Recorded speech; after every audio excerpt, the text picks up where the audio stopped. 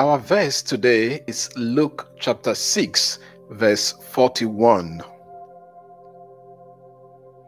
Why do you see the speck that is in your brother's eye, but do not notice the log that is in your own eye? This is a very popular verse.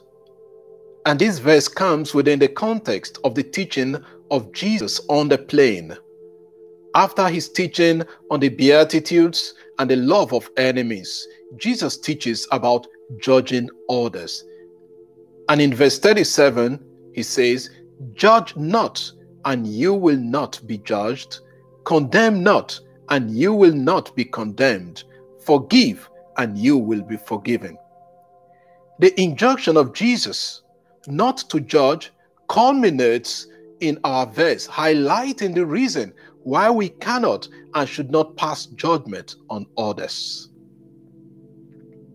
There is an adage in Asa, my language, that when someone bends down to look at someone else's back, he or she exposes himself or herself for others to see.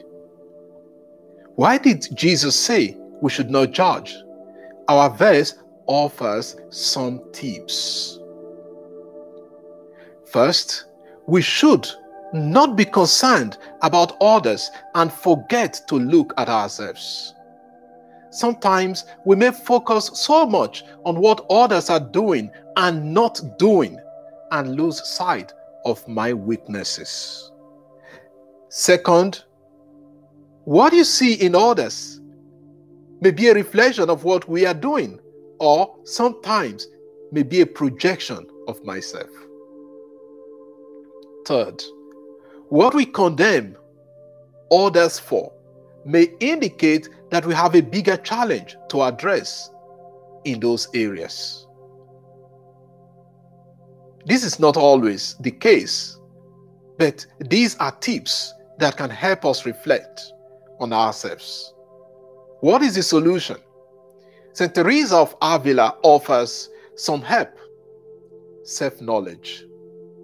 We are quick to pass judgment on others because we do not know ourselves enough, or we want to escape focusing on our weaknesses. We therefore project them to others. How do I know myself? St. Teresa encourages us to spend time with the Lord in prayer. It is by meditating on the life of our Lord Jesus Christ and juxtaposing our lives against His that we can see our weaknesses. Another way to know our weaknesses is we need to listen to what others say about us. Sometimes what people say that irritate us are most likely areas we need to work on in our lives. They could be the comfort zones or dark regions we do not want others to enter. Today, the Lord invites us to focus on our weaknesses rather than on the shortcomings of others.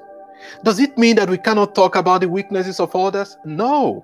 What it means is that when we talk about others, we must also reflect ourselves to ensure that what we are saying about others do not apply to me or to us.